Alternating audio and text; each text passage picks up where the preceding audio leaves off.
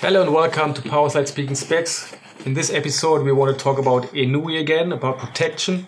So here we have our AVE knee gasket and the elbow gasket.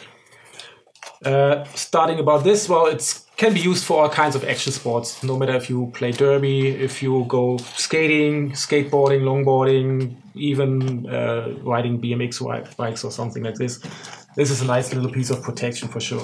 It's uh, it's lightweight.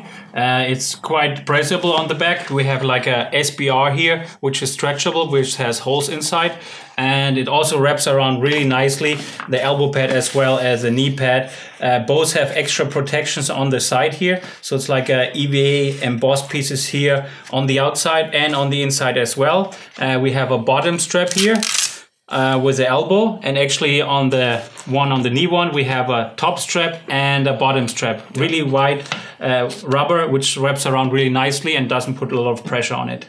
The two straps or the one strap secure a nice fit and uh, they don't slip down. And another little detail to avoid the slipping is like we have some anti-slip silicone stripes uh, on the bottom and on the top on both the elbow and the knee pad uh, overall, the fitting is also guaranteed because we have a really nice donut inside and a really nice fitting uh, EVA padding, the dual density padding. So you're really, really well protected from all the shocks you get. Um, like Matthias, it's an open construction, and inside we also have a nice and comfortable terry close material. So it takes away some of the sweat or absorbs some of the sweat, and it's, it's really nice on your skin also.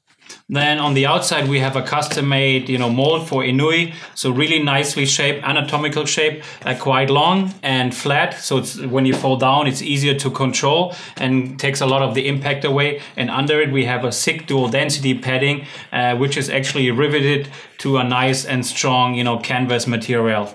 So that's basically it. Very lightweight, very strong, abrasion resistant, and also good for sliding.